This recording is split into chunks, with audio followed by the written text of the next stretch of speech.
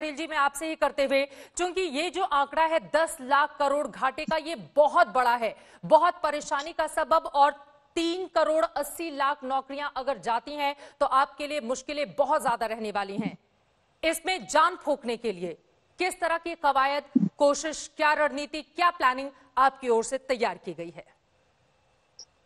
चित्रा जी, ये बात बिल्कुल सही है कि सबसे पहले हमारा उद्योग या हमारा स्टेक होल्डर्स का कामकाज बंद हुआ है और सबसे बाद में शुरू होगा। बिल्कुल। इसलिए जो आकलन है जो मोटा आकलन आपने किया होगा तो मैं मानता हूँ सही ही होगा। लेकिन हमको ये बात, बात इस बात का अंदाज़ा भी हमको है कि देश में जो भी रोज़गार सृजन के आंकड़े उसमें लगभग 12 प्रतिशत से ज़्यादा की भागीदारी पर्यटन मंत्रालय की।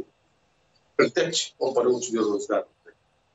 और इसलिए चुनौती है क्षति है, नुकसान है, बड़ा नुकसान है। इस बात का अंदाज़ा भी स्टेक होल्डर्स को भी है, सरकार को लेकिन कुछ चीज़ें इस सारी परिस्थिति के बीच में एक आशा की किरण के रूप में भी हमारे सामने आई। जब मैंने मंत्रालय संभाला था, तब मैंने, तब कोरोना का कोई संकट नहीं था। लेकिन तब भी मैंने कहा था कि धन से ज़्यादा ज़रूरी पर्यटन में है, धारणा बदलने की ज़रूरत। और उस बात को लेकर हमेशा हम चुनौतियों का सामना करते रहे। लेकिन इस कोरोना के, इस महामारी के बीच में दुनिया में, जिस प्रकार से भारत की प्रतिष्ठा ऊपर गई है फिर नंबर एक पर मैं जो अनुकूलता देखता हूँ कि जब भी हमारा कामकाज शुरू होगा तो दुनिया में शायद हम सबसे तेज गति के साथ में आगे बढ़ेंगे। और उसका अगर कोई कोई मैं कारण मानता हूँ तो वो देश के प्रधानमंत्री के नेतृत्व को मानता हूँ। कि लोगों का, देश के लोगों का उनके प्रति भरोसा, और देश के बाहर भी लोगों को उनको प्रति जो मान लोगों ने दिया है ये हमारे परसेप्शन को ठीक करने का सबसे पहला कारण दूसरा कारण मुझे लगता है कि भारतीय जीवन शैली हमारी है।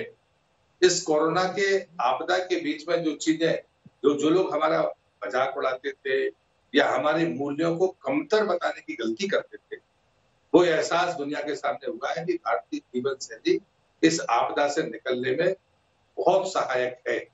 तीसरी बात है कि जो हमारे परंपरागत चिकित्सा पद्धति थी और इसलिए मैं आंकड़े के तौर पर नहीं कहूँगा, जानकारी के तौर पर कहूँगा कि देश के भीतर जितने भी विदेशी पर्यटक थे, उन तमाम विदेशी पर्यटकों ने अपने देश जाने की बजाय भारत में रहना स्वीकार किया।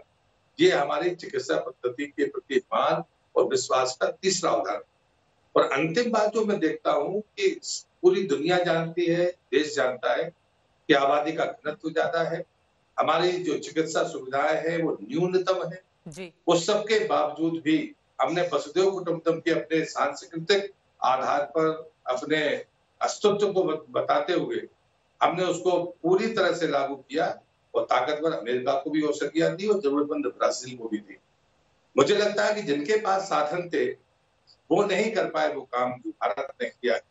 ये चार ऐसे कारण हैं जिस कारण से मुझे लगता है कि जब भी विभाग शुरू होगा, कामकाज शुरू होगा कोरोना के बाद, या हम जब कोरोना के साथ भी चलेंगे तो अपने निर्देशों के साथ हम अपने इन कामकाज को बहुत तेज गति के साथ